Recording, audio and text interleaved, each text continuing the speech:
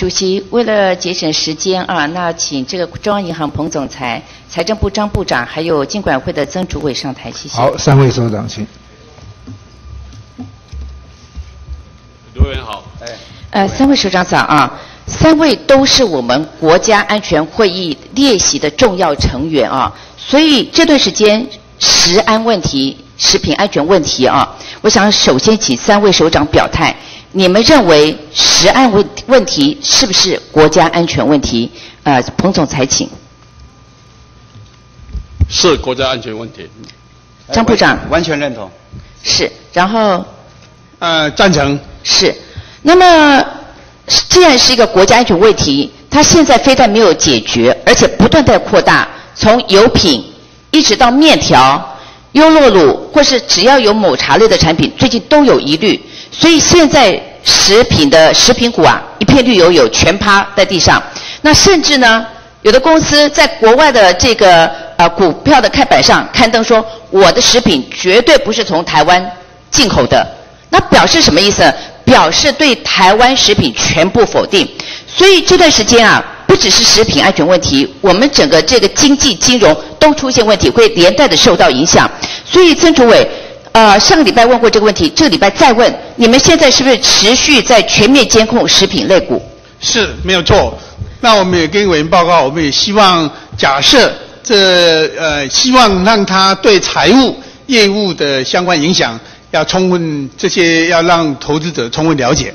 我刚才看了一下哈，今天股票小跌了。是。那可是呢，如果说这个食安问题啊，这个食品股问题没有获得解决的话，还继续扩大的话，那恐怕对整个金融市场也会有很大的影响啊。那所以你们除了持续监控以外的话，那你是不是也有所准备？要拜托这个张部长，我们国安基金上个礼拜有问过，你们说国安基金上个礼拜还没有还没有必要进场，因为当时我们告诉我们会有低对可以获得解决，可是到了这个礼拜过了礼拜天了，非但没有解决，还扩大。那在这种情况之下的话，财政部跟金管会有没有准备国安基金有可能要进场？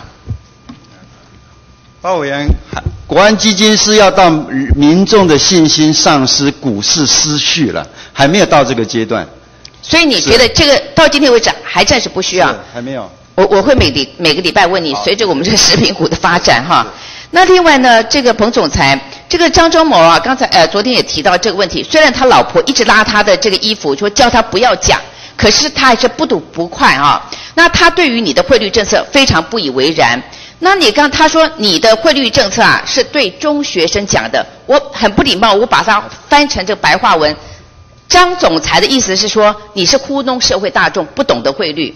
所以你刚才在提到就说，哎，如果台湾的汇率贬的话，有利出口，可是进口会贵，所以机车熟的石油会高。可是张总裁他下面一句话讲的是什么？他讲说你这个是糊弄大众，骗中学生，讲讲给中学生听的啊。他讲的是，如果你今天出口不好的话，失业失业率就会增加，因为你的这个。失业率没有办法改善，因为就业率不好嘛。那如果你就业率不好的话，大家没有工作，那即使你食品再便宜，即使你汽油再便宜的话，那恐怕大家没有薪水，没有就业，那连买都买不起，连石油都买不起。所以他认为说，汇率贬不只是对出口业好，最重要是对就业也很好啊，对就业很好。那你现在采取的汇率政策？虽然可以有效的控制物价，可是可能会影响了就业率。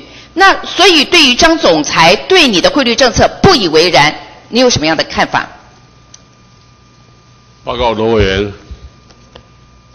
中华民国是一个言论自由的国家，每人都可以发表他的言论。那我也了解电子业希望本质的声音，因为它每一块钱换取新台币比较多。但是中油公司董事长的声音也请卢伟文听一听。他每一个买一块铜买石油，每一块钱要付更多的新台币。假如汇率能够解决出口的问题，全世界不需要有经济学家。那就业的问，他提到的就业问题呢？那他当然是一样嘛。我跟委员报告，中央银行有二十三位的博士，我们理事里面有十二位的博士。汇率是一个重要的问题，中央投资相当的时间去研究汇率，我跟我的副总裁每天都盯住外汇市场，中央对汇率的关心绝对不低于台湾的任何人。但是中央的汇率政策是维护台湾全民的利益。在去年有一个董事长跟诺贝尔经济学得主信讨论汇率的时候，这位信的教授说，汇率不能够服针对某一个产业。这是一个诺贝尔奖的得主。对不起，总裁，他讲的是全民就业的问题。对啊。你没有针对这个问题回答。我跟委员报告，中央常常去访问企业，企业访谈，企业告诉我们说，中央银行维持汇率的动态稳定，这是对我们对外贸易最有效、最有最帮助的方法。就业的问题呢？当然了，你假如说对外贸扩展贸易的时候，当然会创造就业啊。我再报告一次，今今年台湾对人民币贬值了百分之三点五。刚才我讲过了，十月份出口减少多少？三点九亿美金。那台湾对大陆的面板减少多少？四点五亿美金。那台湾对人民币是贬值的啊。台湾为什么对大陆的面板减少四点一亿美金？日元贬值了。九月份日本的工具机出口减少三十 percent。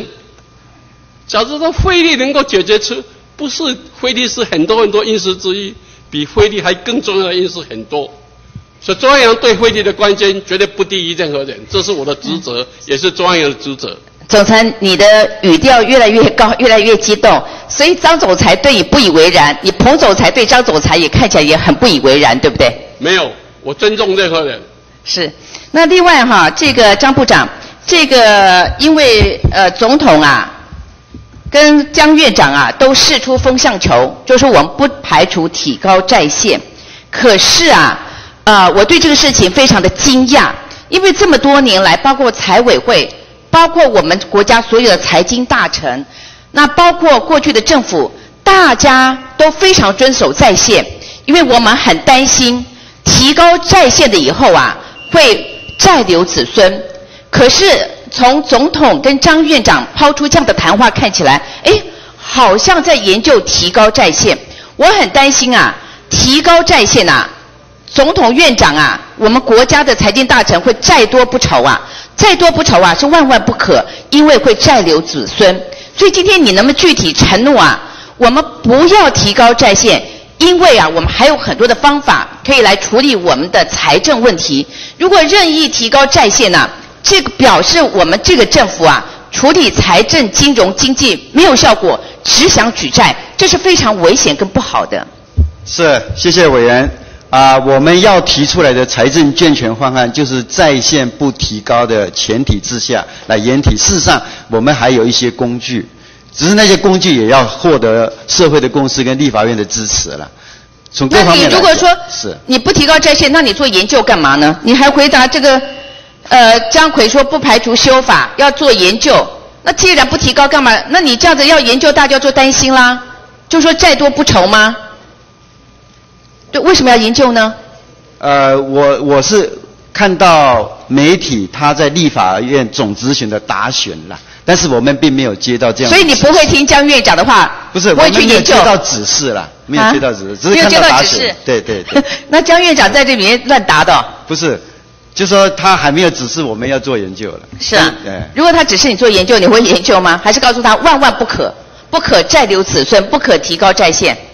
呃，老实讲，跟我们报告哈，这个东西啊是社会科学了。社会科学本来是用哪个比较好？就我前面讲过的，税费捐是当代人负担了，再是下一代人负担了，代际之间怎么样负担比较公平？大家可以来讨论了。另外哈，这个彭总裁苦口婆心哈，不断在提高，就说 Q E 虽然延缓退场。可是我们所有的房贷户、一般的老百姓要注意呀，利率可能会提高。那我也知道金管会有要求啊，我们各金融机构要做压力测试。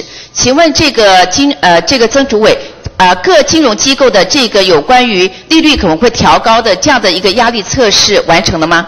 呃，跟文报每一年都有做压力测试，那今年的呢？有针对有针对这个利率要提高是你做压力测试吗？啊，它是针对整个动态环境，包括利率，包括等等都会做，还有国内外经济因素都会做压力测试。那这个今年的这个压力测试哈，上限是多少？就是说，很多人在讲，如果利率提高的话，那很多建设公司啦，或是小老百姓啊，那很可能因为受不了这个利率，如果呃利率一直提高的话，那他很可能会破产呢、那不管是企业或是个人，那如果破产的话，就会造成我们对我们国家经济跟金融的冲击。所以这个压力测试有没有上限？就说如果利率上呃提高一码或两码或三码，到到底到几码是我们压力的极限，不可以超过这，超过的话，国家经济跟金融就危险了。那它的上限是一码吗？两码？呃，跟委员报告，我们会针对不同的情境来做压力测试。对，那整个普遍性呢？是，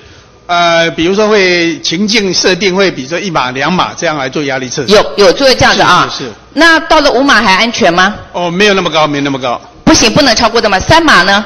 嗯，其实我们呃不同的设定的目标会对啊、金融市场呃不同的冲击，那我们会把它找出这假设有冲击要怎么应应。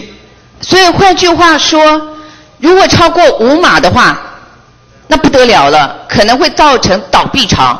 你的意思是这样子吗？你说呃五码不行不行，我我们没有是这样的意思吗？我们呃展望最近的情况之下，应该不会设定到啊、那个 benchmark 不会那么高。不会到那么高。是是是。那四码呢？呃，我们还没设定那么高。还没这么高。是是到三码就危险了吗？呃呃，跟委员报告，那压力测试的结果，我们这个是呃内部的资料，谢谢。是，那你私下送给我们财委会的委员了解，好不好？因为这个是动用公款在做的压力测试，那我们可以秘密的来审阅，因为有秘密的这个审查办法哈。那我们想了解一下，因为呃这个东西也有关系，因为我们要怎么去进行监督？如果说到了三码，哎。你刚才讲五码也不行，四码不行，到了三码的话，那我觉得，哎，我们国家的这整个的这个金融体制，那它的这个安全性的话，我们大家一起要了解一下哈。是是是好，谢谢。